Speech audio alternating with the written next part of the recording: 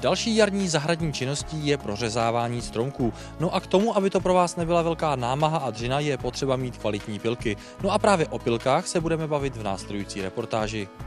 Pane inženýre, prozraďte nám na úvod, jak široký sortiment pilek máme k dispozici právě pro jarní prořezávání stromků na našich zahradách. Tak máme několik pilek eh, od takové základní pilky, která je pevná, je v pouzdře a neskládá se, až po pilky zasouvací, které jsou velice eh, šikovně skladné, bezpečně se přenášejí, jednoduše se s nimi zachází a jsou velice účinné. Určitě není pilka jako pilka, podle čeho naši diváci mají možnost poznat právě tu kvalitní a ideální. No tak eh, samozřejmě záleží na tom, kolik za tu pilku chtějí e, utratit.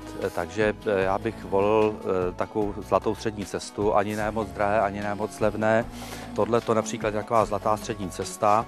Vidíte, že ten tvar zubů je zvláštní, výbrus zubů je takový, že ty břity jsou vlastně na vnější straně, po obou stranách a ta e, u hřbetu je tenčí, u zubů je širší, tím je vlastně daný ten šrank a tento způsob e, broušení zubů přináší to, že ta pilka je velice, velice účinná.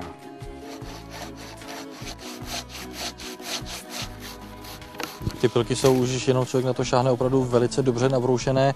E, není potřeba je přibrušovat vůbec pak, když nenarazíme zrovna na ten hřebík, jak jste zmínil? Ty pilky vydrží velice dlouho, ale pokud se stane, že se narazí na ten hřebík nebo e, dlouhým používáním se e, to otupí, tak je nejlépe to dát do odborný prodej nebo sběrny, kde vám to nabrousí. Co se týče údržby, tak po každém řezání je dobré tu pilku očistit. Eh, eventuálně, protože třeba tento pilový list je pochromován, můžete to i opláchnout vlažnou vodou, nechat uschnout a třeba namazat před uskladněním a potom to klidně takhle uzavřete, můžete to přenášet, můžete si to schovat a eh, nemůže se vám s tím nic stát. Řekněte mi ještě jednou na závěr základní kritéria, který bychom se měli držet při nákupu pilky. No tak zaprvé velikost pilky, eh, samozřejmě, eh, která odpovídá tomu, co s ní budete řezat. Eh, za druhý, aby ta pilka byla dostatečně kvalitní, to znamená nějakou renomovanou značku vybrat. To poznáte podle toho, že třeba ten výrobce dává prodlouženou záruku, že nejenom dva roky, ale delší záruku, třeba pětiletou.